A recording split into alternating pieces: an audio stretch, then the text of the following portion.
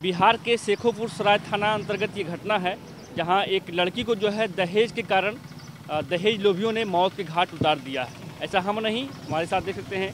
लड़की के परिजन हैं इनसे हम जानने का प्रयास करेंगे कि आखिर घटना जो है कैसे कैसे क्या क्या हुई थी। क्या नाम हुआ भैया आपका? जी मेरा नाम श्रीकांत कुमार हुआ। कहाँ घर है? जी मेरा घर बेल्ढा है जो कि दोसुद पंचायत के अंतर्गत आता है बारसलीगंज प्रखंड में।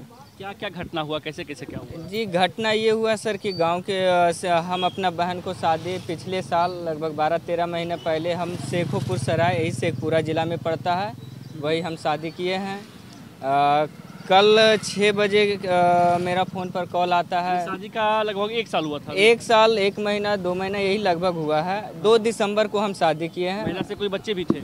आज जी चार महीने का एक बच्चा है जो कि नाम लक्की है मेरा भांजा है मेरा बगना है। समझ सकते हैं कि एक साल पहले ही जो है महिला की शादी हुई थी और देखा जाए तो अभी चार महीने की मासूम बच्चा है। जी जी है ना? अब उसका भरण पोषण कैसे होगा?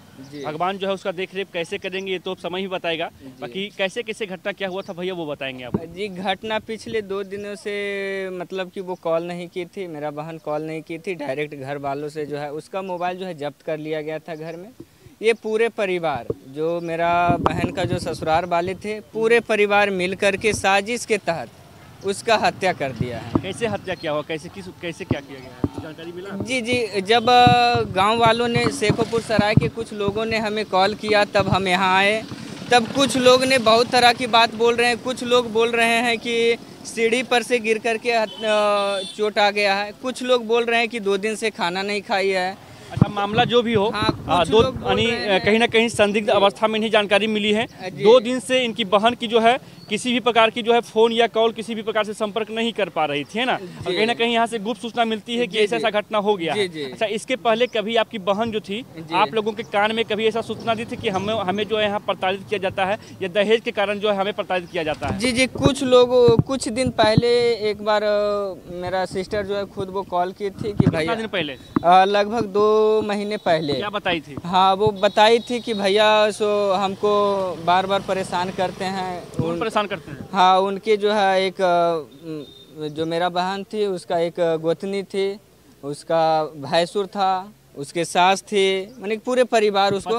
हाँ जी पति उसका था उसका देवर था जी सारे लोग प्रताड़ित करते थे हाँ, ये आपको पर- दो हाँ। महीना पहले जो है बताई थी हाँ। उससे पहले जो है आप लोगों के कान में ऐसा सूचना जो है कितने बार मिला था आ, नहीं वही एक दो बार मिला था दो बार मिला हाँ था। एक दो बार मिला था और फिर लास्ट में यही अंजाम तीसरा मतलब ये दहेज जो आप लोग आरोप लगा रहे हैं कि दहेज भी हमसे मांगा जा रहा था इसमें कितना सच्चाई है जी बिल्कुल कुछ अभी कुछ दिन पहले मेरा बहन गई थी मायके गई थी हम्म, हम्म, हम्म। तब कुछ दिन पहले हम उसको मैंने कि बोला था कि भैया मेरे पास प्रॉब्लम है सो परेशान करते हैं घर वालों तो उनको कुछ पैसे हम दे करके भी भेजे थे। दहेज में क्या मांगा जा रहा था? पैसा गाड़ी क्या चीज़? नहीं पैसे का पैसे बार बार उसको मेंटली टॉर्चर किया जाता सर आप भी समझ torture किया हाँ आप भी समझ सकते हैं आप भी मीडिया लोग हैं आप भी समझ सकते हैं उसको मेंटली टॉर्चर किया जाता तो था मतलब ये किस वजह से मतलब मौत जो हुई है हाँ। किस वजह से सीढ़ी से तो- गिरने की वजह से हुई है? हमें हमें पता है हमें मन कि इतना अनुभव है क्योंकि जब डेड बॉडी को हम देखे तो उसका गला में जो है दाग का निशान है। कहीं ना कहीं या, है? या हमें ये लगता है कि उसको गला घोट करके हत्या कर दिया गया या तो उसको फंदा लगा करके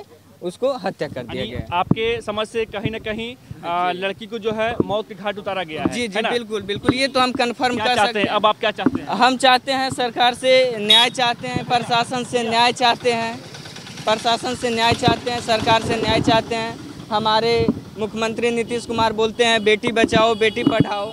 ऐसा कब तक बेटी का हत्या होता रहेगा? कब तक बेटी ऐसा मौत के घाट उतरते रहेंगे? बिल्कुल। बेटी बहन हाँ, हाँ। हाँ जी। बिल्कुल सरकार कहती है कि हमेशा जो है लोग यदि दहेज लेते हैं तो उनका जो है आज मेरे बहन के साथ हुआ कल और किसी के बहन के साथ होगा।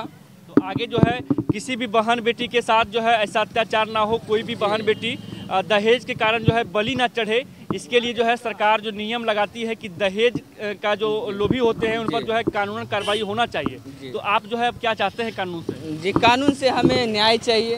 जो हाँ जो ऐसा किया है वो तो मे, मेडिकल रिपोर्ट बताएगा। बिल्कुल, बिल्कुल। हाँ क्योंकि हम तो कंफर्म नहीं कर सकते क्योंकि हम अपने आँखों से? देखे नहीं। मेरा नाम श्रीकांत कुमार हुआ। हम जो पीड़िता है जो एक्सपायर की है उसका हम बड़े भाई हैं। और भी परिवार वाले हैं हम इनसे भी जानने का प्रयास करेंगे कि आखिर इस घटना के बारे में इन लोगों को जो है क्या जानकारी है। क्या नाम हुआ चाची आपका? हमको नाम सुधा देवी। कहाँ घर है? हमको घर बार बिघा प्यारेपुर। प्यारेपुर। जिस लड़की की मृत्यु हुई है वो आपके कौन हैं?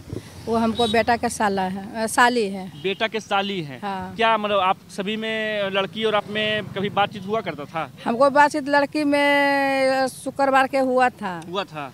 क्या हाँ। बता रही थी? तो वो बता रहे थे कि मम्मी जो बोलो बोल रहा है कि तुमको पति नहीं काम करती है। से बोले अथी काची बोल रहे हैं कि आपको भी खिलाएँगे तुमको दुल्हा खिलाएँगे तुमको बच्चा को भी खिला खाना खिलाएँगे। तो बोल देखिए एक जनवरी को वहाँ से मैके ही से लड़के आए हैं।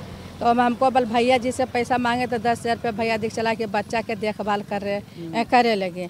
आ हमको वहाँ सोचना मिला उसका मैया ही से सोचना है मैके से कि से बोले वो कुसुम ने सीढ़ी पर से गिर गई या दो दिन से खाना नहीं खाया। क्या लगता है चाची सीढ़ी पर से गिर के मौत हुआ है या कोई और कारण है? नहीं उसका गला घोटा हुआ है। ये एकदम सच्चाई है। सच्चाई आप देख लीजिए सर जाकर। बाकी देख सकते हैं। अभी जो है बिल्कुल दिखाइएगा। अभी हम जिला प्रशासन शेखपुरा जो कह सकते हैं शेखोपुर शायद थाना के, के बगल में ही मौजूद हैं और यहाँ जो है सारे पीड़ित परिवार जो हैं यहाँ आए थे। कानून से न्याय के लिए गुहार लगाने के लिए आए हैं। बाकी जो भी लोग वीडियो को देख रहे हैं आप लोग भी जो है इस वीडियो को ज़्यादा से ज़्यादा शेयर करिएगा ताकि जिस तरह से बिहार में लगातार जो है दहेज के कारण बेटियों पर अत्याचार हो रहा है लगातार जो है दहेज लोभी बेटी को जो है बलि का बकरा बना रहे हैं तो इस पर जो है कुछ कानूनन जो है कार्रवाई होना चाहिए। बाकी सभी का बहुत बहुत आभार। धन्यवाद। जय हिंद।